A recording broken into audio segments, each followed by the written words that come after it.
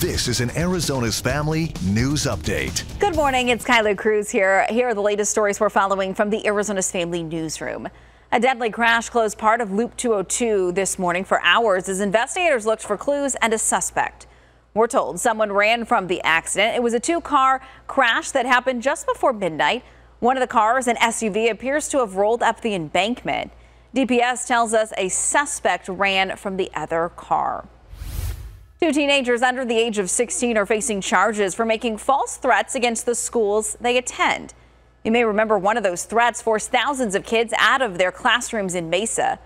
Police say a 14 year old girl from Red Mountain High School claimed that she had a bomb in her backpack. She admitted to making the threat. The other student is from Dobson High School. He is 15. Police say he posted a threat on social media that led to a lockdown of the school. Officers say these are isolated incidents and they are not tied to other threats in the area. Checking the latest COVID numbers, the Department of Health Services reports more than 2,700 new cases today, along with 108 deaths linked to the virus. Right now, about 51% of Arizona's population is fully vaccinated.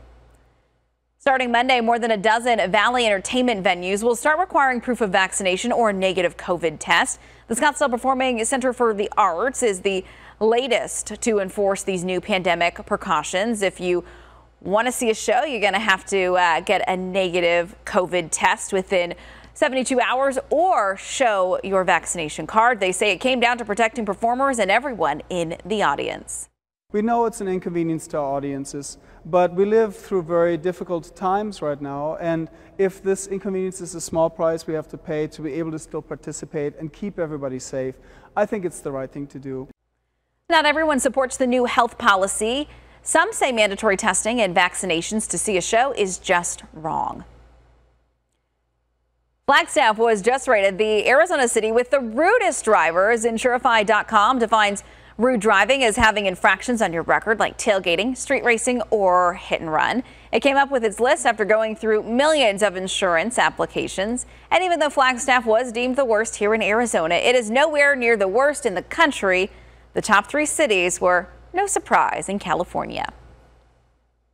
Happy Saturday. Meteorologist Kim Quintero here. We're looking at cooler temperatures but higher humidity. The high today 97 degrees, partly cloudy skies, then a 40% chance of isolated showers and storms this afternoon and this evening. Tonight clearing skies with a low of 79 degrees. Sunshine returns on Sunday with a high of 100. We'll teeter-totter between the upper 90s and low 100s Monday through Friday next week. Those morning lows in the 70s and as of right now, no rain expected for the first few days of fall.